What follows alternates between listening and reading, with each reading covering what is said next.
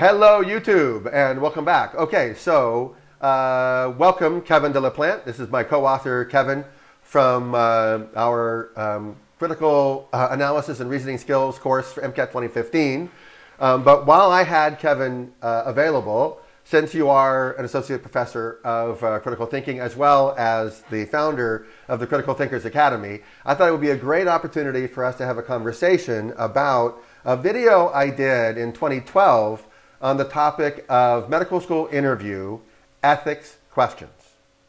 And essentially, the medical school interview ethics question you know, you're in a medical school interview, and it, you know, at some point, some but not, but not all of the interviewers are going to ask you questions about what is your take on euthanasia, what is your take on abortion, you know, what are your beliefs about X, Y, and Z, right? And you're going to be, for the first time, for a lot of people, you're going to be asked to, number one, have a uh, a principle, have a viewpoint, and then you may be asked follow-up questions about that viewpoint. Yes. Mm-hmm. And so uh, in 2012, when I uh, recorded and uh, published that YouTube video, there was a lot of feedback about uh, saying, you know, it's important to have a principle. And, you know, it was really divided. The comments were divided. About 50% were like, yep, you know, we need to have principles and it's important to maintain a point of view. But a lot of people are like, your advice is idiotic because it absolutely will not work and you cannot have you cannot hold a principle and just maintain that value uh, in a medical school interview. It just won't work. Okay. So I wanted to, at one point in time, I wanted to have a conversation with, uh, you know, a, a doctoral level uh, individual who has been extensively trained in this kind of conversation and this kind of thinking in order to like demonstrate exactly what it is that I meant uh, back I, in 2012. I actually, actually, taught a course once mm-hmm. in grad school on the ethics of family medicine. Okay. So, awesome. you know, it was a while ago. Awesome. And I teach co- ethics regularly here, the general ethics class for intro. So, yeah, I think we can have a conversation about this. Yeah, sure. so I'm looking forward to it very much, right? So here, because it gives me a chance to like, well, here's here's an example, right, of of how you might uh, thumb wrestle or how you might fence with an interviewer in a way that is absolutely respectful, absolutely appropriate, and yet promotes your candidacy uh, to medical school in a, a profoundly positive way. Mm-hmm. Fair enough? Okay. Yeah, so, let's do it. Uh, why don't you uh, start? You be the interviewer, I'll be the interviewee, and we'll give it a crack. I'll be the interviewer? Yeah. Okay. Yeah. Okay, so I'm going to ask you a question about euthanasia. Sure. Uh, Don, um, what are your personal views about euthanasia? Okay, well, um, first, let me just say that uh, you know I understand the greater context of you know this kind of an ethics problem, right? Because obviously we have federal and state law that may be at play. We're going to have um, community as well as hospital policy that may uh, dictate a lot about what is uh, practical or possible uh, regarding uh, euthanizing a patient um, there may also be uh, ethics boards that in the real world would exist. Mm-hmm. But I recognize that the question you're asking me is none of that, right? The question you're asking me is what are my views regarding euthanasia? Mm-hmm. And for me, euthanasia is a moral wrong. I mm-hmm. consider it to be killing or a form of murder. Mm-hmm. And I personally would not participate uh, in euthanasia in any way um, for uh, any of my patients. Um, would you um, be, go as far as uh, failing to cooperate with the decision of a medical board on this? I would respectfully refer a medical board decision to another practitioner.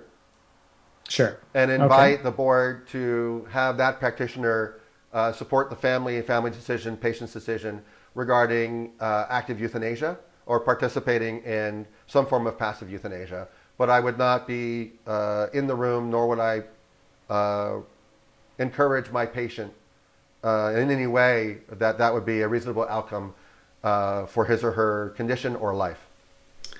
So, um, let me ask you a follow up to the question. You want to draw, you want to say that euthanasia is a kind of murder. So, here's the case yes. where um, someone is, um, uh, let's take the case of someone who's still has their faculties. Yes. They're in such crippling pain mm-hmm. and their functionality is so diminished, they're so yes. incapacitated that staying alive for them is an agony, yes. and they wish. Yes. They ask for the service. So this is um, this is a type of mercy killing, the kind of euthanasia. It's not the same as others, right? Mm-hmm, it's a, mm-hmm. where there's a conscious, deliberate. This is more like assisted suicide. Correct. Right.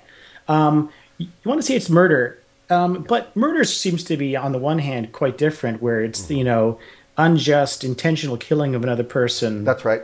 Right. This person wants to be killed. Yes. So, in what sense can it be murder in the same sense?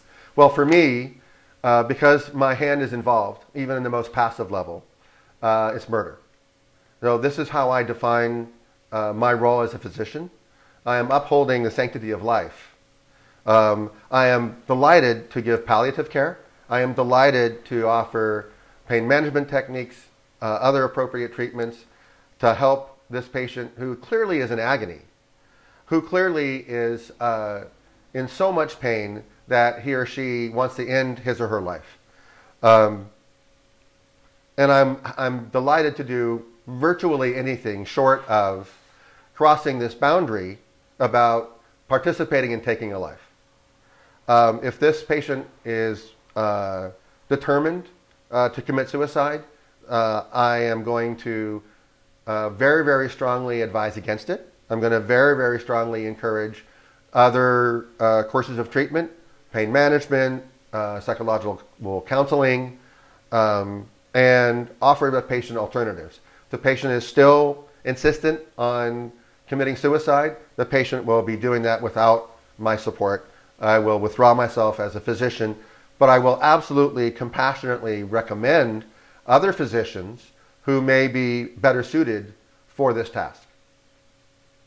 Thank you very much. And scene.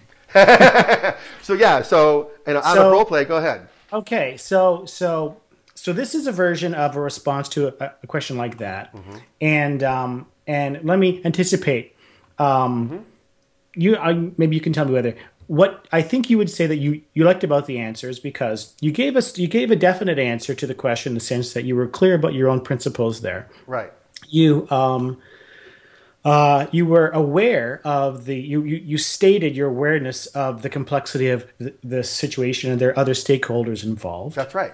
And then you but you articulated what your role would be and what your boundaries were. Yes. And so in that sense, uh, it has the virtue of you sold yourself as someone who has ethical principles, who is um, who is a moral person uh, that other people can disagree with, but at least it's clear that you have moral boundaries, and and this is one of them. And, and for and, you, that strikes you as an advantage in the in the interview situation. It's a huge advantage in the interview situation, especially when I am otherwise prepared to provide contextual exceptions, right, between right. murder and say, an act of killing that is not murder. For example, war would be an act of killing that is not murder. Right. Or killing versus letting die. Like the example, right. one examples we talk about in the cars. The cars um, course. Uh, exactly. Course. Exactly. In the MCAT right. 2015 cars course. Right. Right. Yeah. So it, and the reason why I'm such a big fan of this approach is because it is so absolute. I can give context. I can be compassionate. I can I can share my heart. I can share my uh, empathy for the patient and not uh, um, damage or violate my principles. I can do both. Right. Yeah. It's much harder if there are going to be uh, exigent circumstances. It's much harder for me to say that um, euthanasia is murder except on certain days or except on certain circumstances. It's a much harder line of reasoning, and I have to give a lot more detailed definition of murder in order to get out of the potential, um, you know, the, the naughty argument that I could find myself in. If I'm in the middle of a medical school interview, I'm already nervous, I'm already hyped up, I'm already like jazzed out, and now I'm going to try to do this complex logical reasoning conversation with my interviewer. Mm-hmm. No way, I'm not going to. It's not going to work. It's going to be mm-hmm. too hard. Give me something easy that I can just like you know, the interviewer only has half an hour, right? So give me something easy that I can feed the interviewer that's clear, that right. states the case, but is also compassionate. Right. So Kevin, um, you know, we did uh, critical analysis and reasoning skills uh, section of the MCAT, MCAT 2015. Uh, we have another video that talks about some of the changes on the MCAT. So let me go ahead and link that as well in the description box below. Uh, I'll see if I can add a little uh, link to that video here as well. Uh, and I hope that you guys found uh, our little uh, video mini debate about medical school interview ethics questions. Hope you found that valuable. And I look forward to talking to you guys next time. Have a great day. Thanks, Kevin. Thank you.